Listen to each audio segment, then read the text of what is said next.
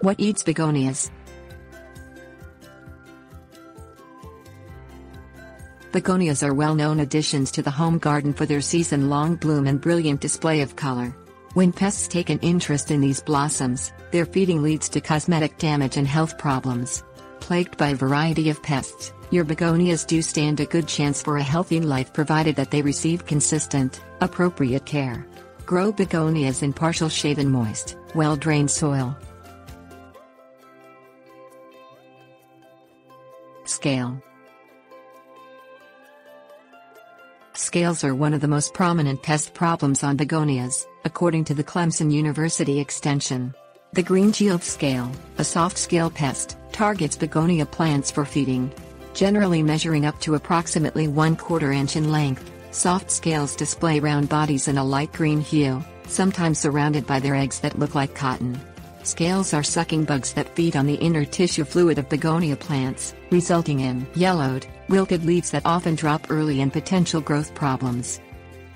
In addition, green shield scales produce honeydew as they eat, a sticky sweet substance that drips on plant parts, encouraging the growth of sooty mold. Sooty mold is a black fungus that covers plant surfaces, blocking out necessary sunlight. Soft scales are controlled with the release of natural enemies like lady beetles or parasitic wasps. Effective chemical insecticides include horticultural oil and those with the active ingredient carbaryl, according to the University of California Integrated Pest Management Online. Mealybug Mealybug infestations are a prevalent problem among begonias. These pests are sucking bugs that also produce honeydew. The University of California IPM Online explains that the greatest amount of mealybug damage is attributed to sooty mold development. Measuring 0.05 to 0.2 inches in length, mealybugs are oval in shape, appearing spiky and commonly covered with a white, cotton-like material. Home growers should look for collections of the cottony material where mealybugs gather in groups. To prevent early leaf drop and dieback associated with this pest infestation, natural enemies like mealybug destroyers assist in control. Gardeners can also spray mealybugs from plant surfaces with water or apply horticultural oil as a means of chemical management. Spider mite Spider mites are found on a wide variety of plants, causing a great deal of problems for begonias.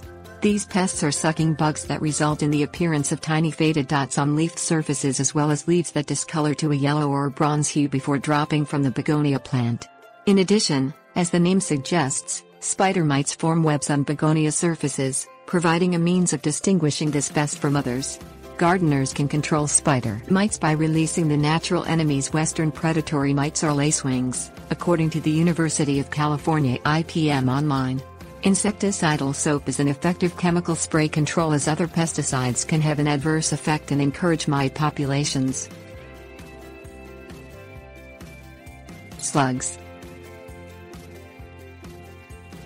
Slugs, or snails without their shells, are a problematic pest for begonia plants.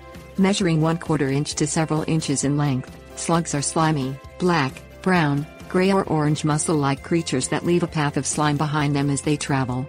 Eating plant tissue of both young and mature plants, gardeners may notice holes in plant parts from feeding. To control these pests, gardeners can trap them by keeping cups in the ground filled with beer or a yeast and water mixture. Slugs are attracted to the liquid and drown in it. Culturally, slugs prefer moist environments, so gardeners should maintain good circulation among begonias and keep the area free of excess plant debris. For chemical control, slug bait attracts and poisons slugs. Bait is available at garden supply stores.